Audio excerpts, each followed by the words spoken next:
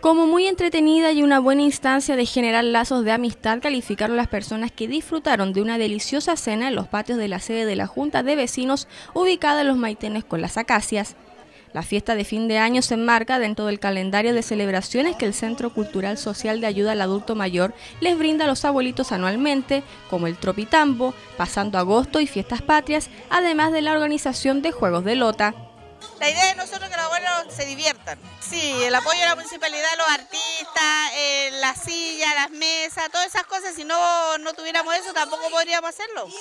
El alcalde Jorge Soria no pudo estar presente debido a estar en reuniones de planificación del municipio, pero les envió un amistoso saludo a todos los festejados que coincidieron en expresar su alegría y con máscaras, sombreros y todo tipo de cotillones, los abuelos sonreían a las cámaras de RTC.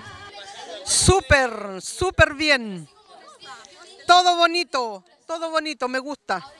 Muy buenos los cantantes y todo en general bien bonito. Eh, eh, sobre todo las canciones del recuerdo, hermoso para todos. Y ojalá que sea, sigamos pasándolo bien hasta el final.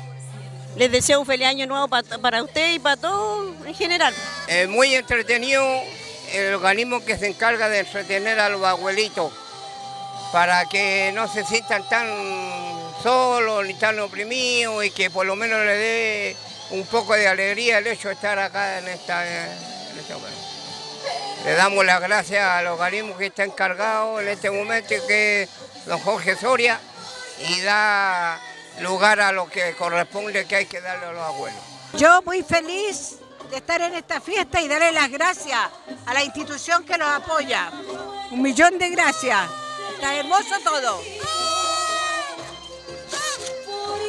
Buenas noches, está muy hermosa la fiesta. Gracias. Estamos toda la gente del Club Adulto Mayor Flor de Otoño.